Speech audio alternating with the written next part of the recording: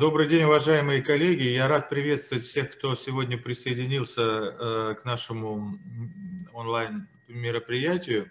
Российское общество онкурологов продолжает проект, который носит название, может быть, э, немножко не патриотическое, «Тумор-борд», но, в общем-то, посвящен этот цикл вебинаров посвящен обмену опытом лечения больных различными онкологическими опухолями.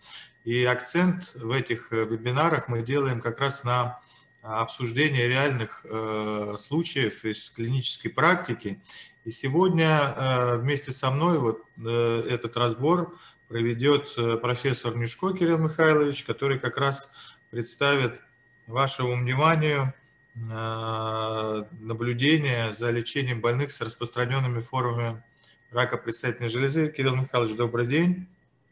Добрый день, глубоко уважаемый Борис Яковлевич, уважаемые коллеги, рад вас всех приветствовать.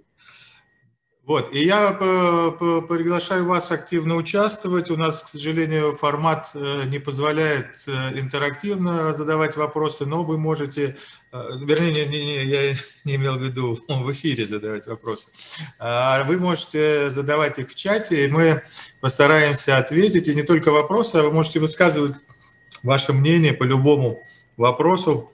Ну, желательно, чтобы он так или иначе был связан с раком предстательной железы. А, и разрешите, уважаемые коллеги, э, э, мне начать, э, в общем-то, хорошо известные, я думаю, для вас вещи еще раз повторить, но тем не менее, хочется напомнить о тех изменениях, подходах к лечению метастатического рака предстательной железы, которые произошли не так давно, о которых мы в последнее время часто говорим, потому что эти э, изменения действительно э, являются революционными, они меняют нашу клиническую практику, они приводят к тому, что наши больные, получая вот эти современные комбинированные методы лечения, могут жить значительно дольше, чем жили раньше. Видна, да, моя презентация, я понимаю? Да, Борис Итак, э, метастатический гормон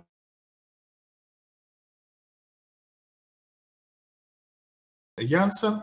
Э, мы называем с вами гормон чувствительным. Э, процесс в том случае, если больные еще не получали гормональной терапии, и мы с вами знаем, что ежегодно около 8 тысяч новых случаев вот этого самого метастатического гормона чувствительного рака предстательной железы выявляется первично. Ежегодно 8 тысяч э, больных с первично выявленным метастатическим гормоночувствительным раком.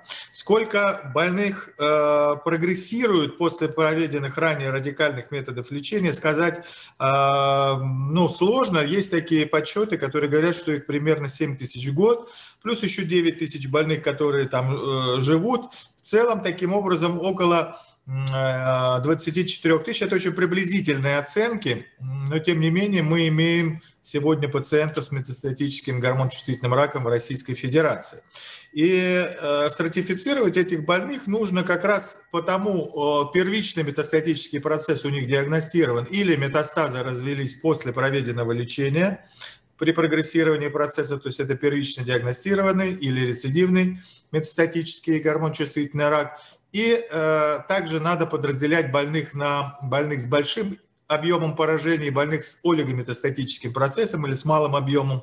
Э, на сегодняшний день э, общепринятыми критериями являются такие критерии большого объема, как наличие четырех и более костных метастазов, причем один из этих очагов должен располагаться вне позвоночника и костей таза, или наличие, ну, или и наличие висцеральных метастазов, то есть метастазов во внутренних органах.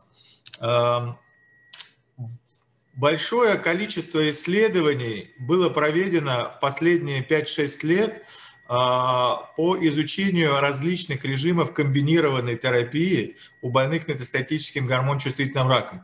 Вы знаете, что а, в свое время мы применяли комбинированную терапию, или мы э, называли максимальная андрогенная блокада, когда мы сочетали андрогенную депривацию и нестероидные антиандрогены первого поколения, виколутамид и флутамид.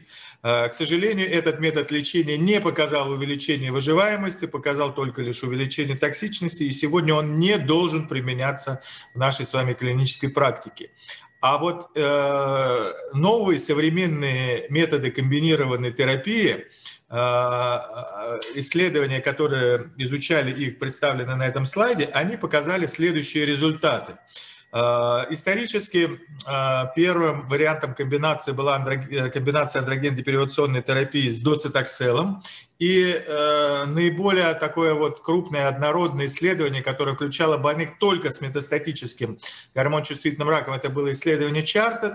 В нем больных рандомизировали на две группы. В одной группе больные получали андроген-депривационную терапию, в виде химической или медикаментозной или хирургической кастрации в другой группе, сочетание андроген-депривационной терапии э, и 6 курсов доцитоксела в стандартной дозировке. И вот посмотрите, что показало это исследование. Но вот на более крупном графике вы видите, что доцитоксел продемонстрировал увеличение, сочетание андрогенной депривации с доцитокселом привело к увеличению выживаемости, медиана выживаемости увеличилась на 10 месяцев в общей группе больных. Но больных стратифицировали по объему метастатического поражения именно по тем критериям, о которых я вам вначале сказал. И оказалось, что доцитоксел приносит пользу только больным с большим объемом метастатического поражения. Верхний график справа вы видите у этих больных на полтора года добавление доцитоксела увеличивает выживаемость. У больных с олигометастазами различий выживаемости нет. Доцитоксел не нужно назначать больным с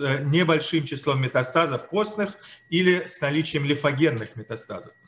Кроме того, мы с вами знаем, что э, этот препарат ассоциирован достаточно большим спектром токсичности, среди которых, конечно, наиболее угрожающей является, э, угрожающей является токсичность гематологическая, потому что э, тяжелая нейтропения, фибрильная нейтропения, к сожалению, может приводить к смерти больных. И вы видите, что цифры э, вот этих э, частоты развития тяжелых форм нейтропении – они достаточно высокие. Помимо этого, вы знаете, что доцитоксел ассоциирован и с сердечно-сосудистой, и с желудочно-кишечной, и с нейротоксичностью. Итак, доцитоксел только больным с первично выявленным метастатическим процессом и большим объемом метастатического поражения принесет пользу. Но в том случае, если он не принесет вреда, и мы должны хорошо оценить статус больного, прежде чем назначить химиотерапию. Напротив, комбинация андрогенно-депривационной терапии и местного воздействия, а именно лучевой терапии на предстательную железу, на первичный опухолевый очаг, э, как выяснилось, э, э, может принести выгоду больным с олигометастатическим процессом. Это один из рукавов исследования Стемпит. Вы знаете, это британско-швейцарское исследование, где очень много рукавов. И вот а, один из рукавов включал сравнение комбинации андрогенной депривации и лучевой терапии на предстательную железу и только андрогенной депривации. Оказалось, что в общей группе больных слева большой график, и видите, различия выживаемости получено не было, одинаковая медиана. Но вот у больных с олигометастазами на верхнем графике вы видите облучение предстательной железы было ассоциировано с увеличением выживаемости. Медиана, видите, на 4 месяца была выше, но достоверно выше. В группе комбинации лучевой терапии андрогенной депривации у больных с олигометастазами, больных с большим объемом поражения э, лучевая терапия не приводит к улучшению выживаемости. А вот третий вариант комбинации – это комбинация антиандрогенов нового поколения. Вы знаете эти препараты, энзолутамид и аполутамид – вот эта комбинация с андрогенно-депривационной терапией приводит к улучшению результатов у всех категорий больных. И у больных с большим объемом метастатического поражения, у больных с олигометастазами, у больных с первично выявленным метастатическим процессом, и у больных, у кого метастазы развелись после проведенного лечения. И я вам это сейчас покажу на примере одного из крупнейших исследований, котором изучалась комбинация андрогенной депривации с аполутамидом. Э, это исследование «Титан». И вы видите, больных рандомизировали на две группы. В одной группе была э, больные получали андрогенную депривацию плюс аполутамид в стандартной дозе 240 мг в сутки, а в другой группе андрогенную депривацию плюс плацебо. И в этом исследовании было две э, первичные конечные точки. Это выживаемость без прогрессирования и общая выживаемость. Больных стратифицировали как по объему метастатического поражения, так и по тому, получили они или не получили до включения доцитоксел, допускалась возможность э, проведения химиотерапии доцитокселом.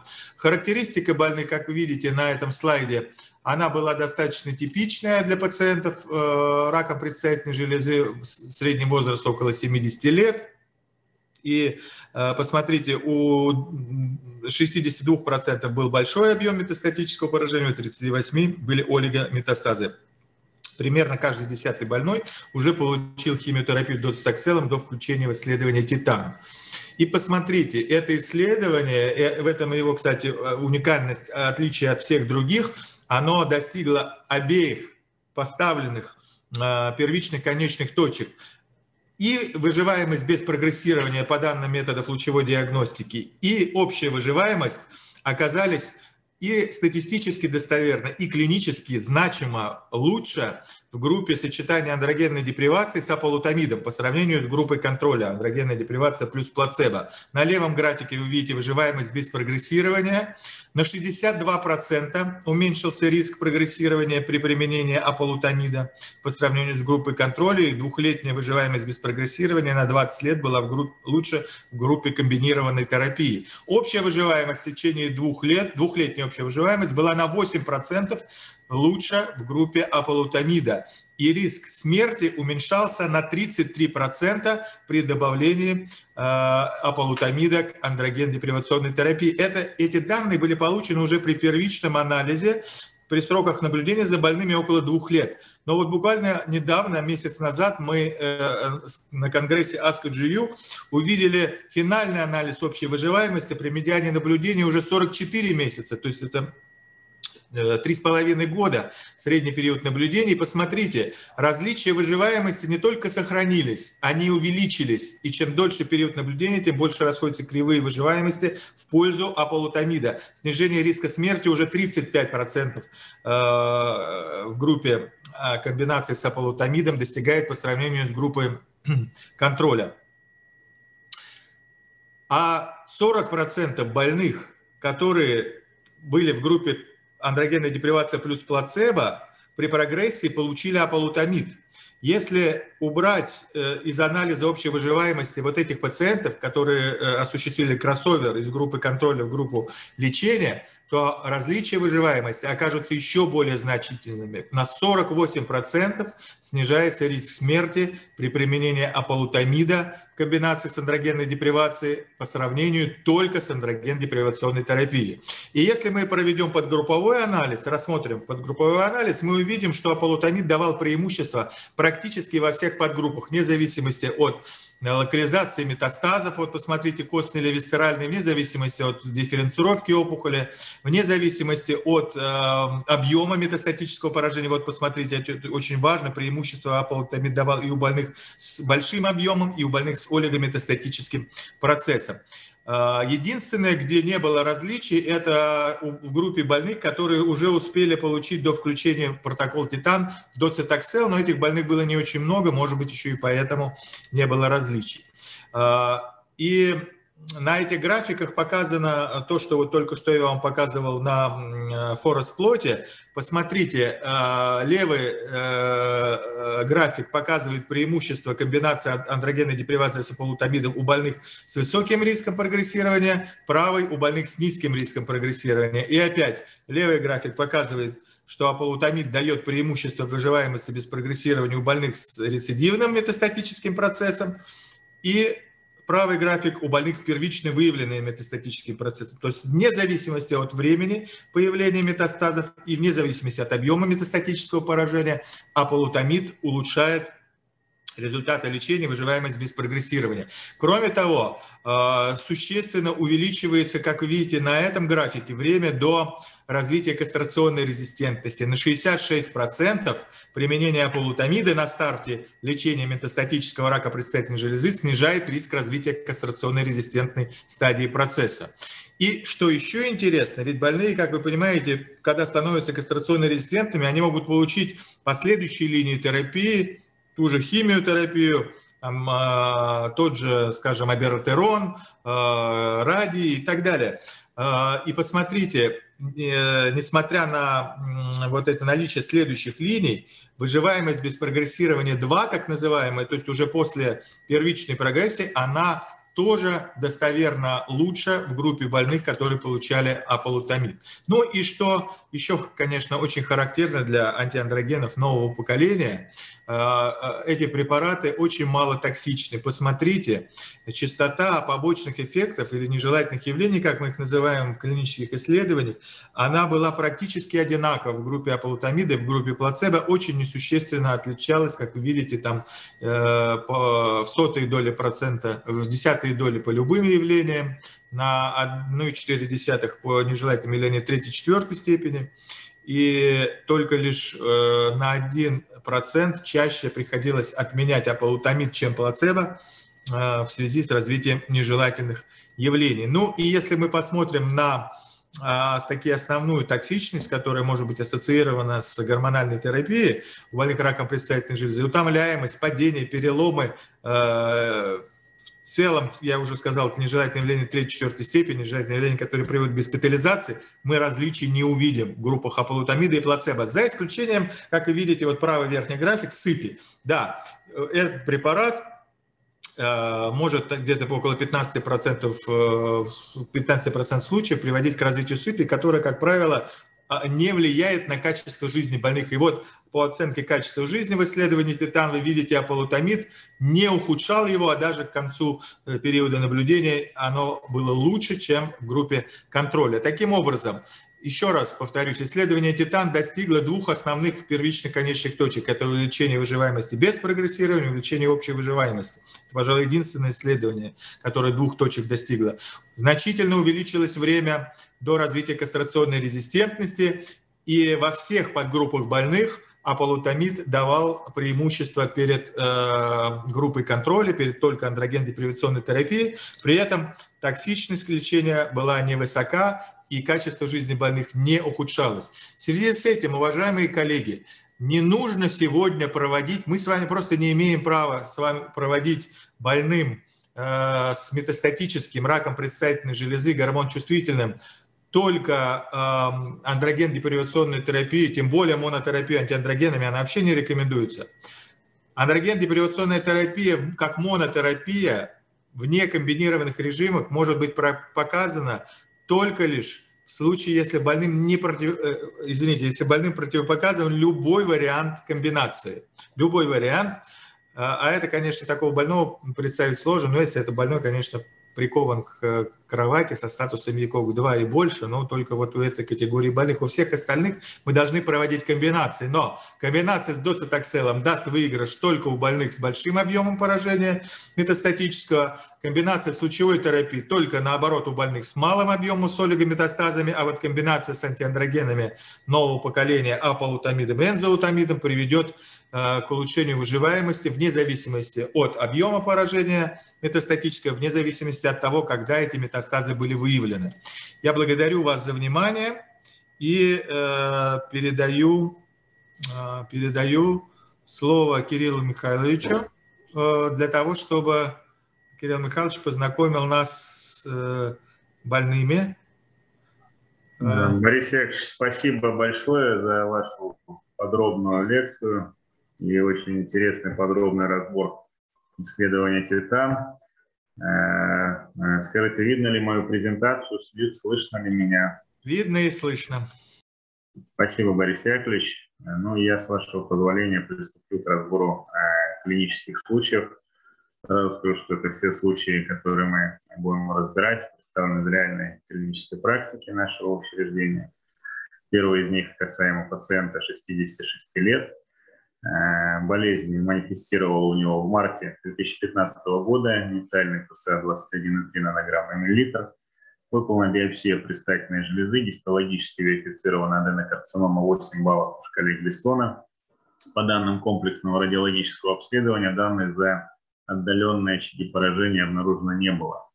Предложены пациенту были варианты лечения, это комбинированная гормонолучевая терапия, либо хирургическое лечение. Э, пациент предпочел хирургический вариант лечения, противопоказаний к операции не выявлено, и в мае 2015 года выполнена радикальная простатэктомия с расширенной тазовой лимфодиссекцией. Коллеги, мы с вами хорошо понимаем, что если мы рассматриваем подход хирургический, у больных высоким риском прогрессирования, то, конечно же, мы должны следовать определенным правилам. Прежде всего, это выполнение расширенной лимфодиссекции и отказ от нервосберегающих техник операций. Это и было сделано, выполнена расширенная тазовая лимфоденектомия с удалением наружных, внутренних подвздошных, общих подвздошных, сакральных лимфоузлов, обтураторной клетчатки до уровня, как вы видите из этих слайдов, до уровня бифуркации аорты, э, осложнений такого вмешательства мы не видели у пациентов интероперационных. И по гистологии, вы видите, установлен подтвержден диагноз аденокарцинома 8 баллов в стадия ПТ-3Б с инвазией семенных пузырьков и массивным метастатическим поражением лимфатических узлов, обнаружено метастазы в 9 из 29 удаленных лимфатических узлов. И с э, таким э, большим объемом метастатического поражения пациенту э, была рекомендована немедленная адювантная гормональная терапия аналогами ЛГРГ на протяжении 9 месяцев после операции. В феврале 2016 года, то есть через 9 месяцев после проведенного хирургического лечения, уровень ПСА составил 1,1 нанограмм на миллилитр. С учетом таких низких значений ПСА и отсутствия данных при радиологическом обследовании о прогрессировании болезни, Э, гормональную терапию решили отменить и перейти на интермитирующий режим введения препарата. Э, больному рекомендован контроль ТУСа каждые три месяца без проведения гормональной терапии. В августе 2016 года, то есть через полгода после отмены э, гормональной терапии аналогами ЛГРГ, отмечен рост ПСА до 6,5 нанограмм на миллилитр. И по данным проведенного комплексного радиологического обследования отмечено прогрессирование заболевания Э, с метастатическим поражением костей таза. Всего обнаружено 4 очага в костях таза, других э, метастазов у пациента выявлено не было. Пациенту была возобновлена гормональная терапия аналогами ЛГРГ. И вот тут действительно стал перед нами вопрос, э, это 16 год, казалось бы, стандарт терапии продолжения кастрации, но уже тогда появились исследования, результаты исследований Чартов, с доцитокселом, э, которые, э, которых также говорил Борис Яковлевич в своем, э, в своем докладе, которые показывали преимущества комбинированного химиогормонального лечения, но преимущество касалось только когорты больных с большим объемом метастатического поражения. И понятно, что использование доцитоксела достаточно токсично может сопровождаться явлениями интраклинических осложнений. Таким образом, у нас тогда была возможность включить э, пациента в клиническое исследование э, с препаратом аполутонит в рамках исследования титана, о котором также рассказывал Борис Яковлевич. Что было предложено пациенту, и пациент был э, включен в этот протокол. В октябре 2016 года пациент получил первую дозу э, препарата, но поскольку это было плацебо-контролируемое исследование, мы, естественно, не знали, что получает пациент, активный препарат, либо плацебо. Но э, обратите внимание на результаты, которые были получены. Видите, в декабре 2016 года, то есть спустя три месяца от начала терапии, естественно, на фоне э, кастрационной терапии, которая была проведена вместе с назначением аполтамида или плацебо, мы отметили выраженное снижение по ПСА. ПСА составила менее 1 сотой нанограмм на миллилитр. По данным радиологического обследования отмечена стабилизация заболевания, новых очагов э, отмечено не было, и пациент э, продолжал принимать лечение в рамках протокола клинического исследования. И интересен этот случай тем, что сейчас э, до сих пор пациент у нас находится под наблюдением, Э, немножко у него подрастает ПСА, но пациент продолжает терапию этого протокола. Видите, э, уже фактически э, более чем 5 лет пациент находится на терапии данным препаратом. Очень длительный, стойкий ответ на такую лекарственную комбинированную терапию. Второй клинический случай, о котором я бы хотел вам рассказать. А, Кирилл Михайлович, давайте по поводу этого больного. Да, Борис. А, ну вот у меня э, такие вопросы будут. Первый вопрос, скажем так, начнем еще до операции. Вопрос, э, в смысле, больной высокого риска изначально был поскольку у него, я так понимаю, ведь, насколько помню, до операции глисон был 8, да? Да, верно. Вот. Скажите, сейчас вот как ну, вернее, нет, сейчас э, у нас нет э, тоже таких возможностей. Но как вы думаете, в последующем, вот у больных высокого риска мы тоже будем начинать лечение с операции или, может быть, э, перед операцией будем проводить какую-то другую терапию? Спасибо, Борис Яковлевич. Я чувствую, вопрос такой достаточно глубокий. Я думаю, что Э, конечно же, когорта больных высокого риска прогрессирования требует дальнейшего изучения подходов, в том числе комбинированных подходов терапии. Э, безусловно, мы сейчас хорошо понимаем, что идут исследования по изучению комбинаций, в том числе новых препаратов, э, направленных на андрогеновый рецептор, как неодевантном, так и адювантном и я думаю, что действительно, ну, во-первых, наверное, мы все-таки придем к тому, что нужно этих больных будет более адекватно стадировать, может быть, в когорте высокого риска применять дополнительные модальности обследований, в частности, ПЭТ, СМА, но пока это, естественно, не регламентировано рекомендациями, но я думаю, что, вероятно, со временем мы к этому придем. И, конечно же, мы ждем результатов исследований по комбинациям, Э, как в неодевантном, так и в адевантном режиме, о чем я говорил. И возможно, что действительно мы со временем придем к тому, что, может быть, будем начинать терапию с применением тех же препаратов, нацеленных на андрогенного рецепта, э, проводить такую максимальную супрессию опухоли и затем этих пациентов подвергать тому же хирургическому либо лучевому лечению. Да, спасибо. Я э, как раз и хотел сказать, что сейчас э, идет исследование, большое исследование третьей фазы протеус, где аполутамид применяется перед радикальной простатэктомией, ну и после тоже, но главным образом, конечно, мы рассчитываем на эффект неодювантной терапии, потому что в исследованиях второй фазы Э, которые уже известны, и некоторые, скажем так, пилотные исследования с этими препаратами, с аполутамидом, энзолутамидом, показали, что участие больных после неодювантной терапии э, в препарате после простатэктомии имеется патоморфоз четвертой степени. Конечно, резко возрастает радикализм операции таким образом. Поэтому, может быть, мы опять же вернемся к тому, что мы оставили уже 20 лет назад, я имею в виду неодювантную предоперационную гормональную терапию, но вот с новыми препаратами. Но это пока еще, конечно, после, э, в будущем, после результатов третьей фазы, исследования третьей фазы.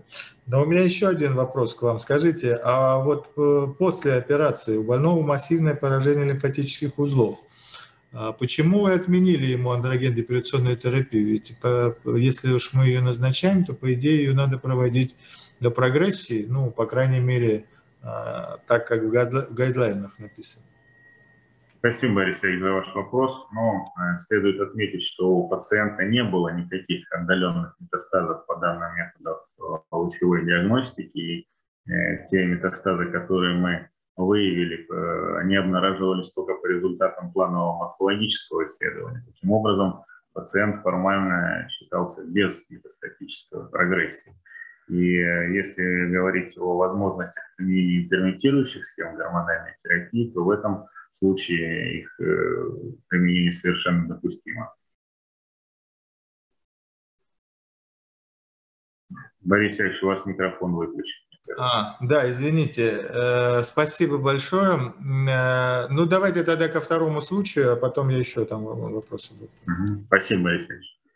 Ну что ж, коллеги, я продолжу. Второй клинический случай. Пациент 77 лет. Э, в марте 2020 года первичное обращение с уровнем маркера, вы видите, более 2300 нанограмм на миллилитр. По данным биопсии предстательной железы аденокарцинома во всех фрагментах 7, 4 плюс 3 балла на шкале Глиссона. Э, по данным комплексного радиологического обследования, включая МРТ малого таза, сканирование костей, компьютерную томографию грудной и брюшной полости, вы видите множественные метастазы в костях, лимфатических узлах таза, забрюшинных лимфатических узлах. Э, у пациента определялся выраженный болевой синдром. Следует отметить, что с этим болевым синдромом он как раз и обратился для обследования, где было выявлено повышение, повышенный уровень ПСА. И, конечно же, встал вопрос, что делать пациенту дальше. И, конечно же, были предложены варианты комбинированной терапии, Борис хорошо сказал в своем выступлении, что мы сейчас живем в эпоху комбинации, естественно, и было предложен один из вариантов комбинированного лечения. Мы хорошо понимаем, что это пациент с большим объемом метастатического поражения, поэтому, конечно, вариант с использованием доцитоксела в комбинации с кастрацией также доступен. И, естественно, доступен вариант э, применения менее токсичных схем лечения с применением антиандрогена второй генерации в комбинации с кастрационной терапией. Но пациент отказался от применения доцитоксела, боялся химиотерапии, не, не был на нее настроен. Э, таким образом, пациенту предложена терапия препаратом аполутамид. Э, у нас была тогда возможность это сделать в рамках программы раннего доступа к этому препарату. И в апреле 2020 года пациент получил первую дозу э, извините, он э, начал терапию с э, использованием венереликса. Пациенту также было э, объяснено с учетом большого объема поражений, симптомов болезни, для того, чтобы предотвратить эффект вспышки, либо начать терапию кастрационную с комбинацией короткими курсами антиандрогенов старой генерации, ну или, или начать терапию с моной кастрационной терапией с использованием антагониста. Это было сделано, пациент принял такие рекомендации и, в общем-то, в апреле 2020 года выполнена первая инъекция генереликса в стартовой инъекционной дозе 240 мг под кожу живота. Э, в мае, э, то есть через месяц, мы отметили хороший ответ по ПСА. ПСА снизился с 2300 до 126. Э, продолжена терапия генереликсом в поддерживающей дозе 80 мг кожу. И, естественно, начатая терапия препаратом аполутамид. Э, в июне 2020 года, то есть еще через месяц от начала терапии аполутамидом, мы отметили очень выраженную редукцию по маркеру. Уровень ПСА составил 23 сотых нанограмм на миллилитр. Э, болевой синдром на фоне данного комбинированного лечения полностью редуцировал. Пациент вернулся к нормальной жизни и по данным обследования Э, признаков радиологической прогрессии заболевания у пациента не было. Э, продолжена терапия гидреликсом и аполутамидом, и эту терапию пациент получает, продолжает получать в настоящее время. Видите, сохраняется полный ответ по ПСА, и, в общем-то, пациент нормально себя чувствует, даже устроился вот на работу, вышел подрабатывать сторожем в свои 77 лет, его удалось устроить. Спасибо большое, коллеги, э, за ваше внимание. Борис если какие-то вопросы, я с удовольствием на них отвечу. Да, ну э, э, скажите, пожалуйста, э, вот э, мы с вами знаем, э, что надир ПСА, снижение уровня ПСА в процессе гормональной терапии Э, и э, андроген депривационный, комбинированный. Это очень важное прогностическое значение. Вот у этого больного вашего, у обоих этих больных, о которых вы рассказывали, удалось добиться очень хорошего снижения, практически до нуля. И когда мы ПСА падает у больных с метастатическим раком вот до значений, там, ну, как говорят, неопределяемых или меньше 0,2, то мы еще, еще знаем из исследования достаточно давнего СВОК, что медиана выживаемости у них больше 70 месяцев, да? то есть больше 6 лет, ну 6 лет, скажем так. А,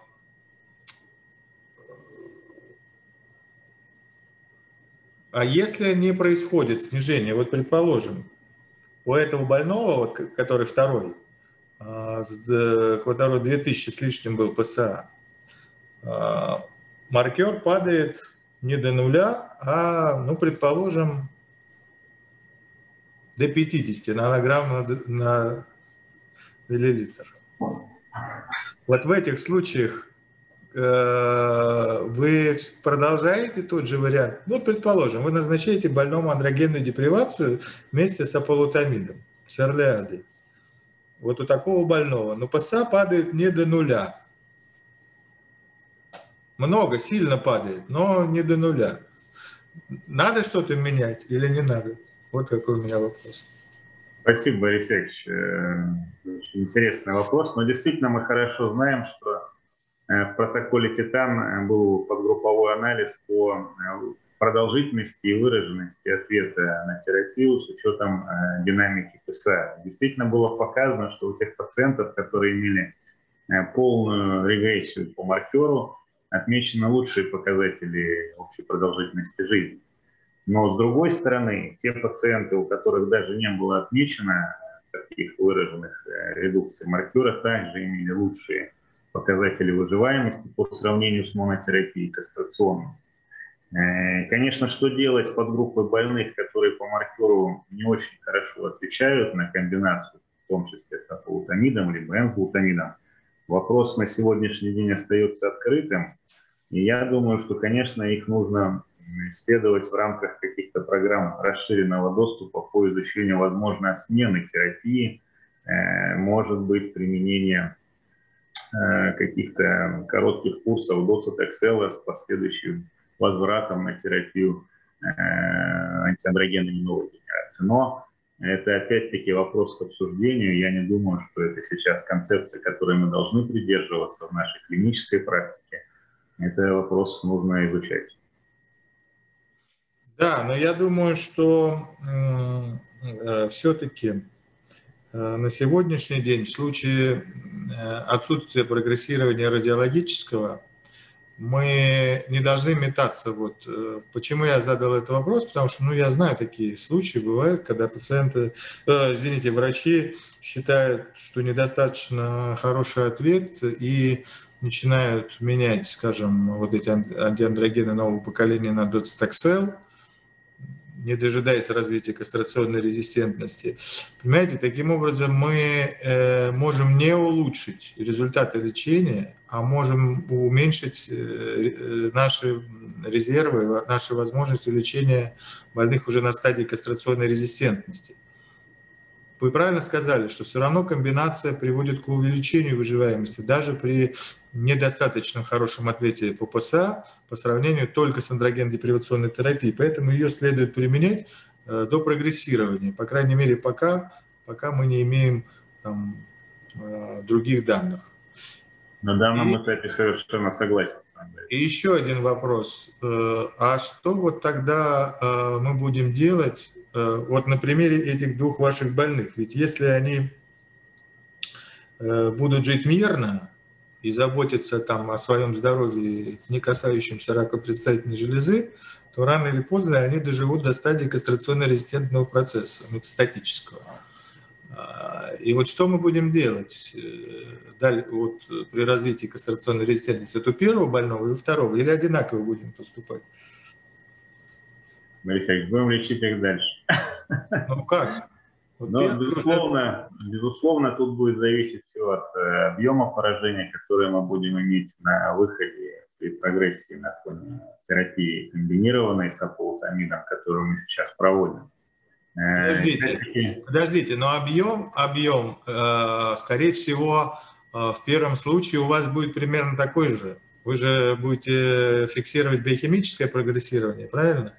И объем Согласен, будет какой-то супер больше, чем сейчас. Согласен, вероятно так, но вы сами понимаете, что все бывает. Э, опухоль может э, вести себя различными, скажем, методами прогрессии. Но, как правило, да, вы совершенно правы, я с вами совершенно согласен, что, вероятно, у первого больного останется тот же минимальный объем метастатического поражения. И э, Верно, думаю, что... все время пытаетесь уйти в сторону. Вот давайте так, этот больной сейчас живет там почти пять лет на... Я буду лечить его дальше. Нет, о, понятно, что вот он будет еще там, еще два года, три, э, не будет прогрессировать, и потом у него разовьется кастрационный резистентность. Что вы ему через 8 лет назначите? Абератерон, энзолотамид или доцитоксел? Я бы прежде всего рекомендовал этому больному сейчас пройти тестирование на наличие мутаций генов гомологичной рекомбинации. Э, если наличие этих изменений будет у него присутствовать, то, конечно же, я после аполутамида рекомендовал бы сразу э, терапию препаратом аллопарий. Э, если эти изменения не будут найдены, я все-таки буду склоняться к смене терапии на цитотоксическую химиотерапию, на применение доцитоксела, поскольку, как мы с вами хорошо также знаем, последовательное применение препаратов, нацеленных на андрогеновый рецептор, э, может приводить к худшим результатам терапии.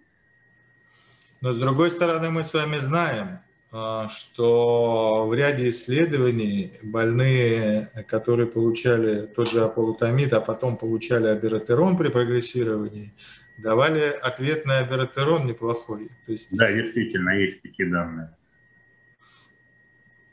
Я а вы как бы поступили, Борис Вот я это говорю к тому, что нам, вот у этого больного, дай бог, чтобы он как можно дольше еще не прогрессировал, но при прогрессии Э, можно рассмотреть практически любой вариант.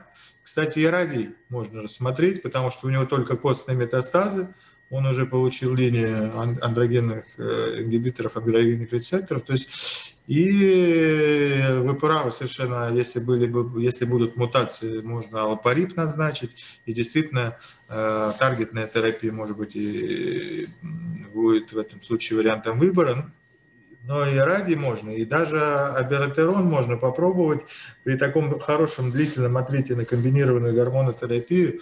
Может быть, препарат с несколько другим механизмом действия гормонального тоже сработает. То есть я хочу сказать, что резервов у этого больного очень много, и проводя комбинированную терапию, это опять же вопрос, который часто задают, а не ухудшаем ли мы возможности лечения потом кастрационно резистентной стадии процесса. На самом деле мы не ухудшаем.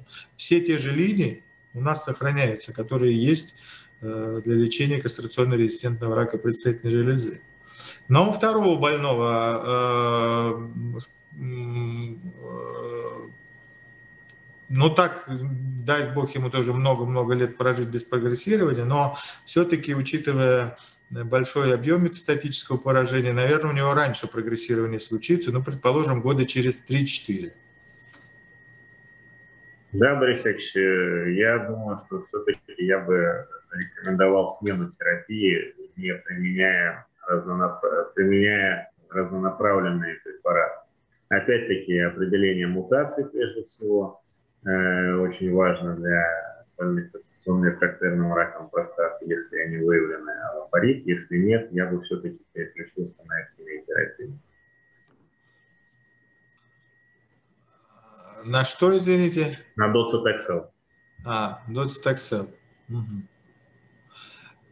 А э, скажите, если э, больной все-таки э, получил уже доцитоксел, ну вот к вам приходит больной на прием, который получил по поводу метастатического процесса доцитоксел, э, 6 курсов. Опять же, у него ПСА ну, предположим, был 600, а стал 70.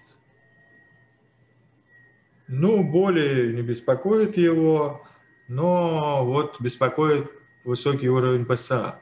Вот у такого больного, как вы считаете, имеет смысл после доцитоксела назначить э, еще вот аполутамид или энзолутамид? Спасибо, Борис.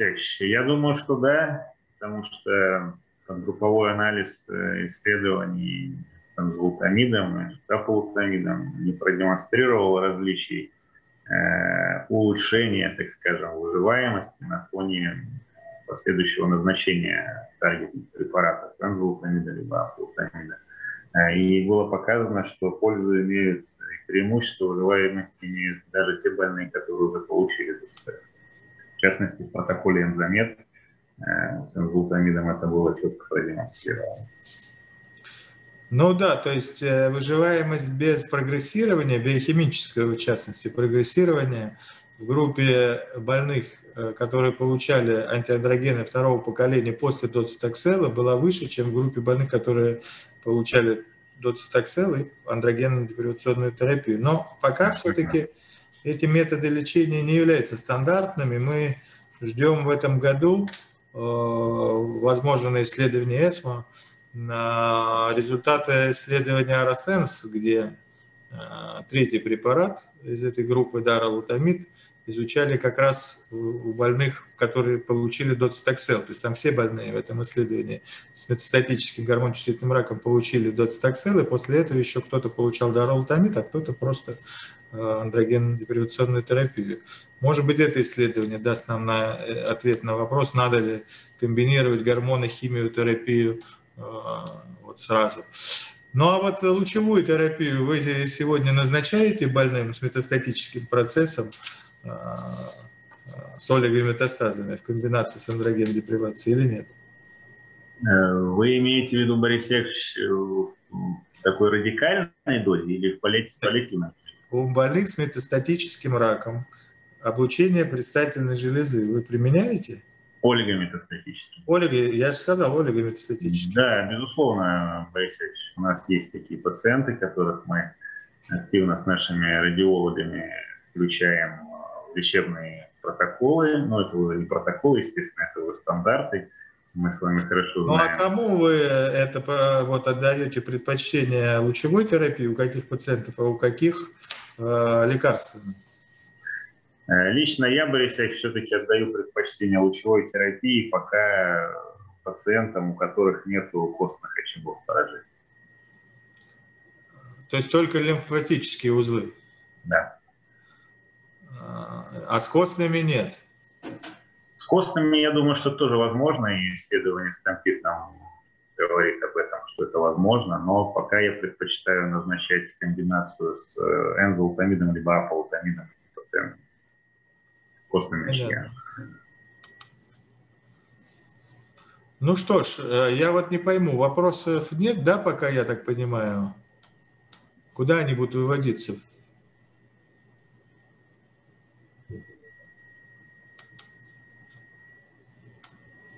Вроде в чате сказали, что должны быть вопросы. Нет? В чате, в чате я пока вообще чат пуст, я вообще ничего не вижу.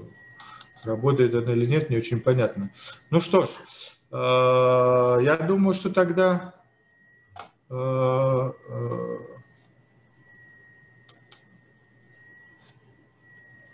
Скажите, вот вопрос. Скажите, через какое время и по каким критериям оценить ответ какое-то неприличное слово. А, это, видимо, на терапию было написано. Антиандрогенами второго поколения при метастатическом гормон-чувствительном раке, чтобы обосновать дальнейшее продолжение терапии. Вы поняли смысл вопроса? Ну, имеется в виду, когда нужно проводить обследование, подтверждающее эффективность терапии, чтобы да. продолжить. Да, да. Пожалуйста, вам вопрос. А мне? Хорошо. Э, я думаю, что это все-таки стандарт, наверное, три месяца, э, чтобы мы оценили эффективность использования методов лучевой э, диагностики и, естественно, динамики ПСА. ПСА Нет, ну, я рекомендую... Если у вас ПСА вот, упал до нуля, и он хороший, или там не до нуля, но хорошо упал, вы все равно будете через три месяца лучевую диагностику проводить? Э, я лично нет, но рядом э, учреждения на местах это требуется, Борис Яковлевич, для того, чтобы учесть э, дорогостоящий препарат доказать эффективность этого лечения. Может быть, но обязательно с точки зрения и рекомендаций, с точки зрения течения процесса, если мы с вами видим хороший ответ по ПСА, а, это делать совершенно обязательно без раньше, чем через год, э, если мы говорим о рутинном обследовании, да или если даже по СМА, ПЭТ-КТ с ПСМА, если мы с него начали. Я, кстати, хочу сказать, что часто приходится, что сейчас, с чем сталкиваться. Например, больному в начале заболевания поставили, сделали сцинтиграфию, да, и там МРТ, и КТ, и, и лечат больного. А потом в процессе Э, мониторинга зачем-то проводят ПЭТ с ПСМА, ну или там с холином, я не знаю. Вот смысл какой? Никакого смысла в этом нет, потому что что вы будете сравнивать? Конечно, ПСМА может выявить те очаги, которые не были выявлены сцинтиграфией на входе в лечение, при начале лечения, но они уже были, и вы можете это расценить как радиологическая прогрессия. Это, конечно, никакая не радиологическая прогрессия, это просто те очаги, которые не были выявлены вначале. Были уже, но не были выявлены, потому что не было использовано. Поэтому надо сравнивать э, одни и те же методы то есть сравнивать динамику по результатам применения одних и тех же методов лучевой визуализации. Если начали с ПЭТа, можете делать ПЭТ. Если начали со сцинтиграфии, значит, надо, конечно, оценивать МКТ, оценивать по сцинтиграфии, по КТ. А, ну что ж, э, так я смотрю, вопросов больше нет, поэтому, наверное, на этом будем заканчивать. Я просто хотел еще сказать, что действительно вы видите, ситуация меняется, меняется, э, ну, я бы сказал, достаточно быстро.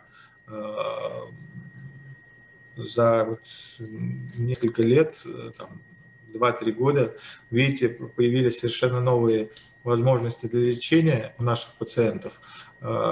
И идет большое количество исследований. Исследования, вот я одно из по комбинации, скажем, химиотерапии антиандрогенов нового поколения больных метастатическим гормоном исследования по применению таргетных ингибиторов ПАРП у больных с мутациями генов гомологичной рекомбинации ДНК тоже при гормон-чувствительном метастатическом процессе, не при кастрационной резистентном, а при гормон-чувствительном. Идет э, ряд исследований, которые я тоже уже упоминал, касаются неодювантной и адювантной терапии у больных высокого риска, э, в том числе и с применением уже на этих стадиях э, как рутинных методов, рутинного метода, метода ПСМА. Исследований очень много, и, и я думаю, практика наша будет меняться, но на сегодняшний день, на сегодняшний день основа все-таки лечения больных, больных с метастатическим гормон-чувствительным раком, это комбинированная терапия. И универсальным способом, и наиболее благоприятным для больного, э, я сейчас не говорю о системе здравоохранения, что благоприятно для системы здравоохранения, сказать всегда очень сложно. Но для больного, конечно, наиболее благоприятным способом лечения является комбинация андрогенно-депривационной терапии именно с антиандрогенами нового поколения, которые, к счастью, становятся все более и более доступными э, для наших пациентов. И очень важно, это показал в частности опрос Российского общества онкурологов, который проводился среди большого количества практикующих врачей, которые лечат больных раком предстательной железы.